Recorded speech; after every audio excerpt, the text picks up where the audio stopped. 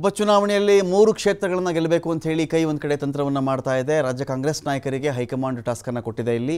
C M Siddaramaiah, D C M D K Shivakumar ವರಿಷ್ಠರ ಟಾಸ್ಕಲ್ಲಿದ್ದಾರೆ ವರಿಷ್ಠ ಟಾಸ್ಕ್ ಕೊಟ್ಟಿದ್ರು, ಅದನ್ನು ಇವರು ಜಾರಿ ಮಾಡ್ತಾ ಇರ್ತಾರೆ. ಎಂ ಎಲ್ ಎ ಎಂ ಪಿಗಳನ್ನು ತಳಮಟ್ಟದಲ್ಲಿ ಉಸ್ತುವಾರಿಗಳಾಗಿ ಬಳಸ್ಕೊಳ್ಬೇಕು ಅಂತ ನಿರ್ಧಾರವನ್ನು ಕೂಡ ಮಾಡಿದ್ದಾರೆ.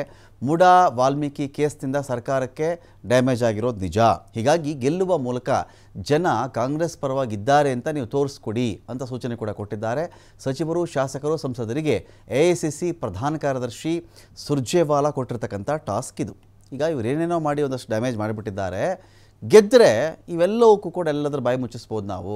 ಗೆದ್ದು ತೋರಿಸಿ ನೀವು ಅಂಥೇಳಿ ಹೈಕಮಾಂಡ್ ಕೊಟ್ಟಿರ್ತಕ್ಕಂಥ ಆದೇಶ, ಅದು ಅಥವಾ ಟಾಸ್ಕ್. ಗ್ರಾಮ, ಹೋಬಳಿ ಮಟ್ಟದಲ್ಲಿ ಕೆಲಸ ಮಾಡೋದಕ್ಕೂ ಕೂಡ ನಾಯಕರಿಗೆ ಸೂಚನೆ ಹೋಗಿದೆ.